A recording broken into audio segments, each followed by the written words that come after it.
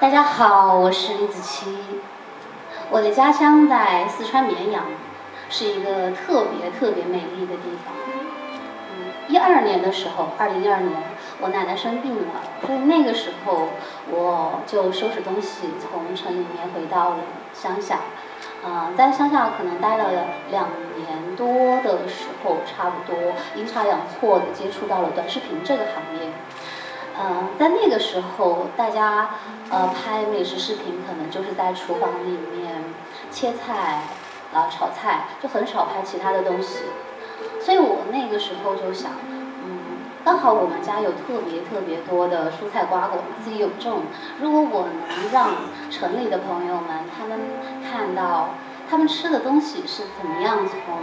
田间地头到餐桌上的，应该也是蛮有意思的。所以那个时候开始，我就开始拍摄我的生活，拍摄家里的一草一木、猫猫狗狗，然后拍摄家乡的日月星河、四季更替，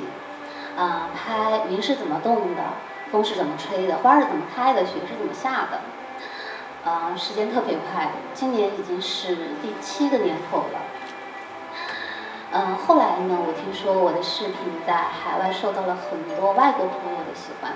其实我非常清楚，大家喜欢的、关注的，其实是这种琐碎、平凡但又充满人间烟火的日子里所带来的生活力量。同时，我也相信，不论是美食、美景，还有优秀的传统文化，这些东西一定。都可以跨越语言的障碍，深入到每个人的心里。呃，因为这世间所有美好的东西，一定都是相通的。